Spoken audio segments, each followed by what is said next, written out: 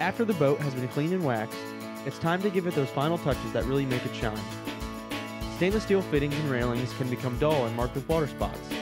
Restore them to their original finish by using a high quality product like Star brite's chrome and stainless polish.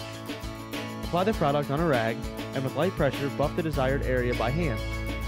This will also help prevent future pitting, salt deposits, and discoloration from rust and corrosion. Finish by wiping clean with a dry microfiber rag.